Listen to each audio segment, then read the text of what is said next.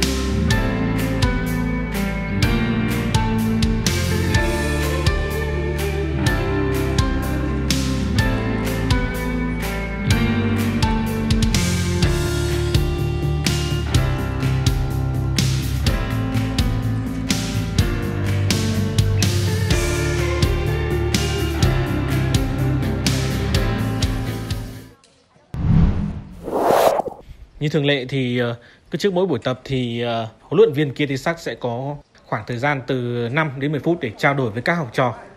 Đây là một điều thường xuyên sẽ diễn ra trong các buổi tập của Hoàng Anh Gia Lai. Và có lẽ là mình dự đoán thôi, mình suy đoán là có lẽ là trong thời điểm này huấn luyện viên Kia Tisak đang muốn ờ, các học trò của mình giữ được sự tầm trung cần thiết cho trận đấu vào cuối tuần này. Hoàng Anh Gia Lai thì vừa trải qua một trận đấu hú vía trên sân nhà ở vòng 9 trước Dương Nam Nam Định. Ở trận đấu đó thì ờ, mặc dù vươn lên dẫn trước 3-0 từ rất sớm nhưng mà sự chủ quan đã khiến cho đội bóng này suýt chút nữa đánh rơi điểm số trên sân nhà và phải nhớ đến khoảnh khắc tỏa sáng của Công Phượng trên ờ, chấm phạt đền ở phút một giờ cuối cùng thì đội bóng phố núi mới giữ lại được 3 điểm ở sân Pleiku. Vì thế nên chắc chắn đây sẽ là một bài học cho uh, huấn luyện viên Kiresak và các học trò trước một đối thủ rất mạnh là Hà Nội FC. Trong buổi tập này thì ờ, một trong những cầu thủ ờ, được ờ, các bạn nhắc tên nhiều nhất trong thời gian qua là Tuấn Anh đã xuất hiện. Thực tế thì ở trong buổi tập trước ừ, trận đấu với lại câu lạc bộ Dương Nam Hà Nam Định thì Tuấn Anh đã quay trở lại tập luyện cùng với các đồng đội và đã có thể tập về cơ bản đã thể hoàn thành được các giáo án như đồng đội của mình. Nhưng mà có lẽ là huấn luyện viên Kiresak vẫn muốn bảo toàn giữ được sức khỏe cho cậu học trò cưng nên là ở trận đấu với Dương Nam Hà Nam Định thì anh ấy không tung ờ, Tuấn Anh vào sân. Nhưng mà rất có thể ở trận đấu với Hà Nội FC, một trận đấu cực kỳ quan trọng trong ờ, tham vọng vô địch của Hoàng Anh Gia Lai thì Tuấn Anh nhiều khả năng sẽ được thi đấu. Chỉ là chúng ta không biết được là là huấn luyện viên Kia Sắc sẽ để Tuấn Anh đá chính ngay từ đầu hay là từ băng ghế dự bị. Bởi vì như các bạn đã biết thì thời gian qua thì người thay thế cho Tuấn Anh là Minh Vương cũng đã thể hiện một phong độ rất là ấn tượng anh ờ, liên tục ghi bàn và kiến tạo. Nên việc ờ, sử dụng Tuấn Anh hay không sử dụng như thế nào thì cái đấy thì phải do à, huấn luyện viên Kiresak quyết định. Ngoài Tuấn Anh thì một cầu thủ khác là Xuân Trường. Người gặp phải một chấn thương nhẹ ở trận đấu với Dược Nam Hà Nam Định cũng đã tập luyện bình thường. Và theo một số thông tin thì vết đau của Xuân Trường ngày hôm đó không quá nghiêm trọng và cầu thủ này hoàn toàn đủ sức khỏe để ra sân trong trận đấu vào chủ nhật tuần này các cầu thủ khác như là Công Phượng hay là Văn Toàn, Minh Vương, Văn Thanh, Hồng Duy cũng đang có được cái thể trạng ừ, rất tốt cũng như một tâm lý rất là thoải mái. Sau những bài khởi động nhẹ nhàng thì ờ, cao thủ Hoàng Gia Lai bước vào bài tập đá ma. Mặc dù đây là một bài tập ừ, phổ biến mà rất nhiều đội bóng áp dụng Nhưng có một chi tiết khiến mình phải để ý chính là hình ảnh của huấn luyện viên kia Tây Sắc. Những bạn có thể thấy là đó Di Cố Thái đang đứng xem các học trò của mình thi triển những bài đá một chạm trong phạm vi ngắn. Mặc dù đây chỉ là một bài tập bình thường thôi, nhưng mà huấn luyện viên kia sắc vẫn để ý rất sát từng hành động của các học trò, từng cử chỉ. Ông liên tục có những lời động viên cũng như là những lời chỉ bảo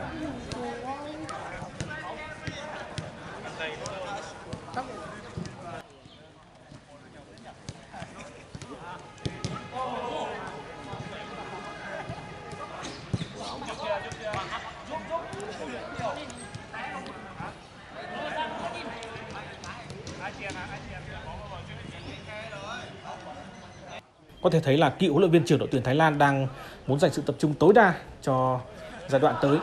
Và vì thế, tưởng chừng ngay từ những bài tập nhỏ nhất thì ờ, vị huấn luyện viên này cũng mong muốn có thể là chỉ bảo hướng dẫn cũng như là theo dõi các học trò để để làm sao theo mình nghĩ là có thể ờ, phát hiện ra thêm những mảng những chiến thuật mới cũng như là có những ý tưởng thú vị khác.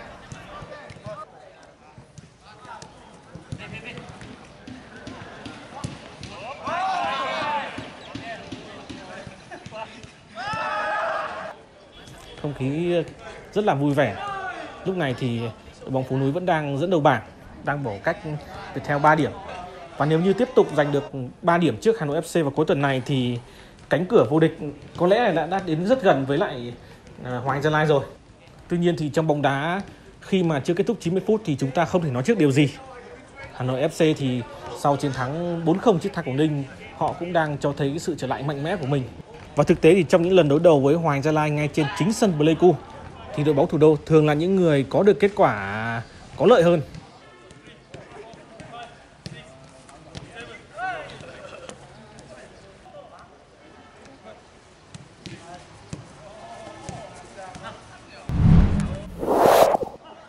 Ngoài lề một chút thì trong lúc mà Hoàng Gia Lai đang tập luyện thì mình để ý có một đội bóng cũng đã đến sân để ờ, chuẩn bị tập luyện. Hỏi ra mới biết thì đây là An Giang những người sẽ gặp Hoàng Anh Gia Lai ở vòng 1 Cúp Quốc gia vào ngày 23 tháng 4 tới. An Giang là một đội bóng đang chơi ở giải hạng nhất và hiện tại thì như các bạn có thể thấy trên hình là đội bóng này đang có một số gương mặt được câu lạc bộ Hoàng Gia Lai cho mượn như là Âu Dương Quân, Văn Văn hay là Minh Quyền. Đó là những cầu thủ trẻ triển vọng của Hoàng Anh Gia Lai đang được ờ, chui rèn tại đội bóng này. Và lúc này thì bọn mình bắt buộc phải ờ, phải dừng quay video ở đây vì ờ, vì thời lượng tác nghiệp đã hết. Vào ngày mai thì ngày 16 tháng 4 thì đội sẽ có buổi tập mở, tập full. Tới lúc đó thì các bạn sẽ được quan sát một cách chi tiết hơn, cụ thể hơn những tình huống đáng chú ý. Còn hôm nay rất tiếc là video của chúng ta phải ờ, tạm ngưng ở đây. Thay cho lời kết của video thì mình xin cảm ơn các bạn cũng đã đồng hành với lại uh, nhóm làm kênh hậu trường bóng đá trong thời gian qua cũng như là trong video này. Và trong thời gian tới mình sẽ tiếp tục mang đến thêm nhiều clip hậu trường bóng đá nữa cho các bạn để à, không phụ sự kỳ vọng cũng như mong mỏi từ các bạn dành cho bọn mình. Và trước khi khép lại video này thì mình xin à, nhắc lại là trận đấu giữa hai câu lạc bộ à, Hoàng Gia Lai và Hà Nội tại vòng 10 V-League 2021 sẽ diễn ra vào lúc 17 giờ ngày 18 tháng 4 trên sân Pleiku, tức là chủ nhật tuần này. Còn bây giờ, xin chào và hẹn gặp lại các bạn ở những clip tiếp theo.